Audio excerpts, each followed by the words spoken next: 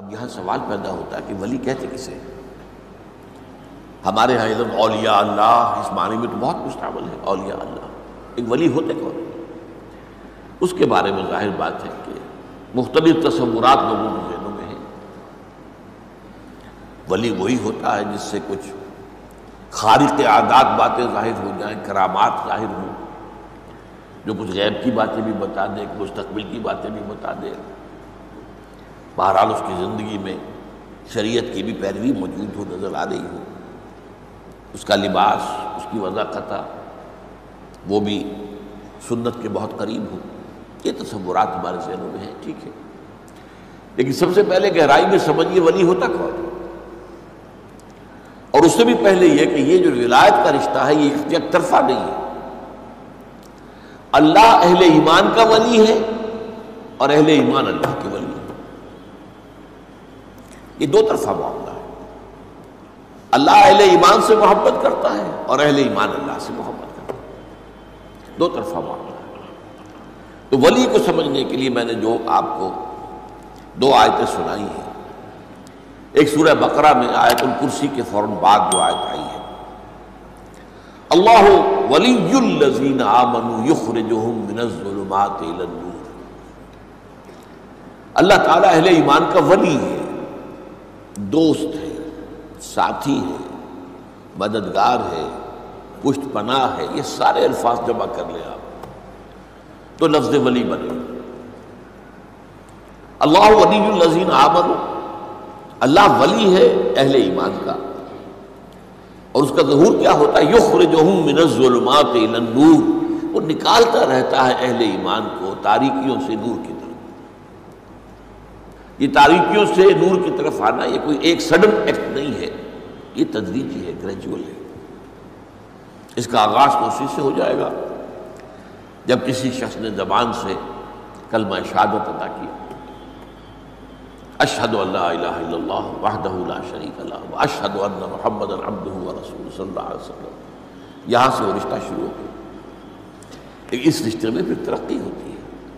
ये आगे बढ़ता है। तदरीजन इसी तरीके से वो एक जुल्मत में से निकल कर तो नूर में आ गया, कुफर से, शिरक से।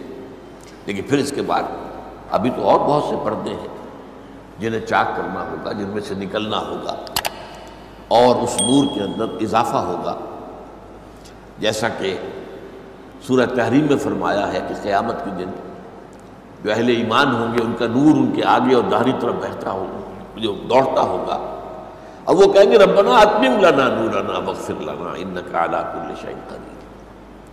परवरदिगार हमारे लिए, हमारे इस नूर को कामिल फरमा दें। उसकी वजह क्या है? कि दुनिया में ईमान में सब बराबर नहीं थे। एक ईमान अबू बकर सिद्दीक का था, एक आप, आम साहबी का था, एक हम में से किसी का ज़मीन आसमान का फ़र्क हो जाएगा। उसी रेशियो प्रोपोर्शन से नूर मिलेगा। मैदान हश में जबकि कहीं नूर नहीं होगा, अंधारा होगा। गुप अंधेरा और फुल सरात पर से गुजरना है, जिसके नीचे जहन्नम है। जरा ठोकर खाई हो गए गिर गए। उसका नक्शा जो है सूर्य हदीब में खींचा गया है। कि अहले ईमान तो गुजर जाएँगे, उनके पास नूर होगा, सामने भी और दानी तरफ़ भी। सामने नूर ईमान का होगा दानी तरफ़ आमाल साल का। मुनाफिकों के पास होगा नहीं, दुनिया में वो उनके साथ थे, कोई नूर नहीं होगा। और वो अहले ईमान से कहेंगे उन ज़रूर ना नकतब इसमें भाई, जरा आराम से ठहर ठहर कर चलो। तुम्हारी रोशनी से हम भी फ़ायदा उठा लें। हमारे पास तो नहीं है। उस नूर के बारे में आता है कि किसी को तो इतना होगा कि मदीन मुनवरा से सना तक उसकी रोशनी चली जाए।